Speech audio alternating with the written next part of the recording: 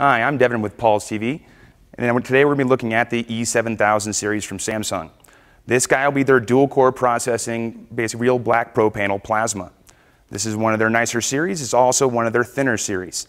Uh, in this particular one, we'll be run full 1080p as well as full 3D compatibility.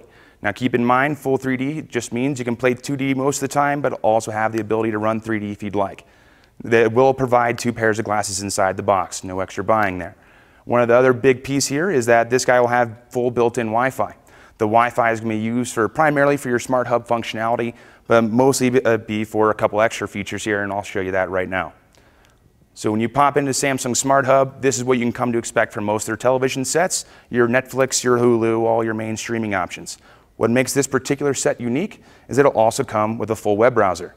Now the full web browser, when I pop into this, you can use your remote or purchase a separate wireless keyboard and be able to go to pretty much whatever you want on the internet.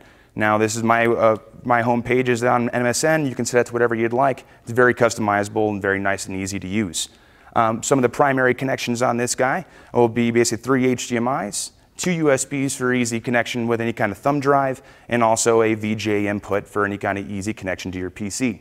For more information on this TV or any TVs that we spoke about, go ahead and call the number on the screen. Go ahead and visit paulstv.com or come visit us here inside the store. Thank you so much.